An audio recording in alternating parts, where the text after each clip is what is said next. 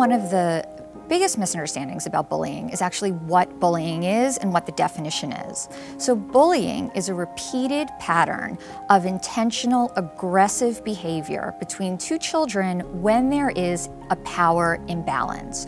So it has to be intentional, it, there has to be a power imbalance, and it has to be aggressive.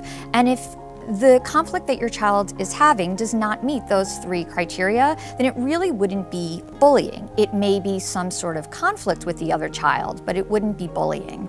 If your child is experiencing bullying at school, it is really important that you go and you speak with your child's guidance counselor, your child's teacher, um, or the principal. Oftentimes what happens is that bullying takes place behind the scenes of the grown-ups. So bullying will take place at recess, where there are 150 children running around and not very many adults. Bullies are very, very good at hiding what they're doing from the grown-ups. And so a lot of the times teachers, guidance counselors, administrators, we simply don't know that a child is being a bully. So once you hear from your child that they are being bully, bullied and it meets that definition, it is so important that you go and speak with your child's teacher or guidance counselor or principal. And in addition to that, um, it is also really important to speak with your children and talk to them about how to get along with others because some children simply have a hard time compromising or